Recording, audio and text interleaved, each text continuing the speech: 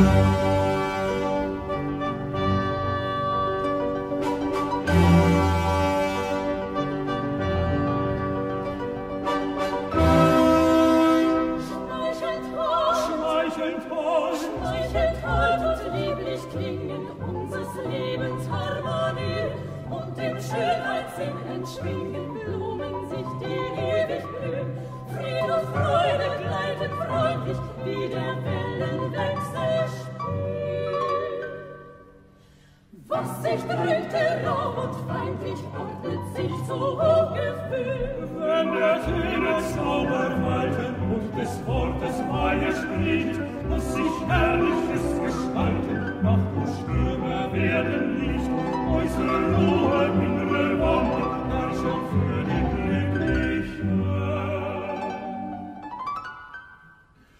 Doch der küsse Frühlingssonne lässt aus Leiden nicht Moses.